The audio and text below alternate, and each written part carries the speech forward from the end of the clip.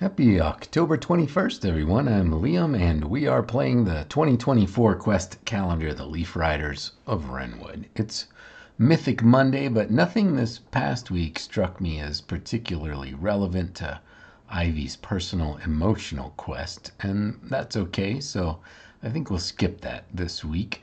When last we played, Ivy and party defeated Thornheart uh, sort of. She charged and missed us and head-butted a tree, and that ended things as it so often does, and that is where we left things. So let's see what adventure is on the calendar for us today.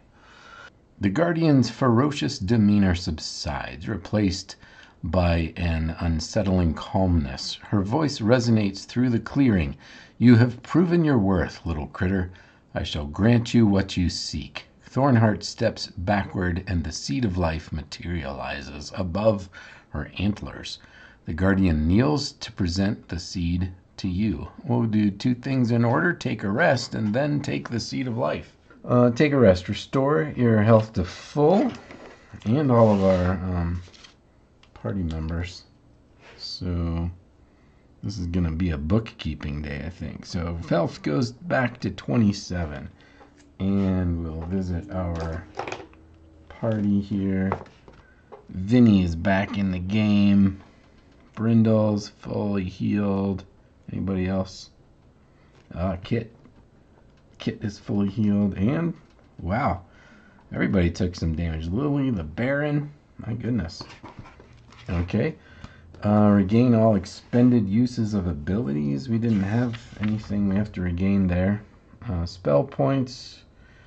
Poisoned and cursed, we're, none, we're neither of those. Change your equipment if you desire. We don't have any extra equipment. Change your party members. I think we like who we have.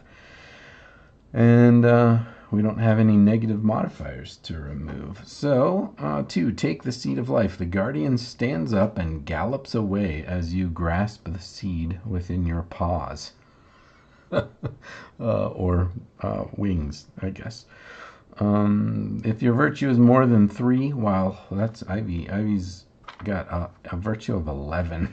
While holding the seed, you experience a blissful moment of pure hope and boundless potential. You know what? We can do, let's do mythic for this moment. Um, so, what did it say? Pure hope. Pure hope and boundless potential. I think that's an opportunity. Let's make some space here for for Mythic. Slide you in. Okay. Let's see. Um, ask the fate question Does my character grow from the epiphany?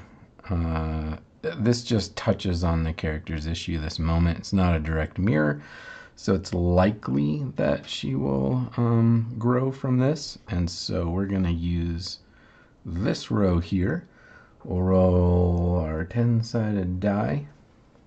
There's our 10s, 51. So that's a yes. Ivy does grow from this moment. I think what that means, let's see, just double check. Oops, here we go. That means we get a plus one to our fulfillment value. So Ivy goes up to six here. Put the calendar back. There we go. Ivy goes up to six on her fulfillment. She's halfway there. Six of 12. I think, so now we have to figure out what this means. I think that uh, for the first time in a long time, or maybe ever, since the, uh, since the tragedy anyway, Ivy has a moment where, or a, a time, maybe longer than a moment, maybe an evening here where uh, she doesn't think about it, where that psychological weight of that tragedy is lifted, and uh, and she sleeps easy. So that, my friends, is October 21st. So we shall say goodbye for now and visit Ivy and friends again tomorrow. I hope you'll join us. Thanks for watching.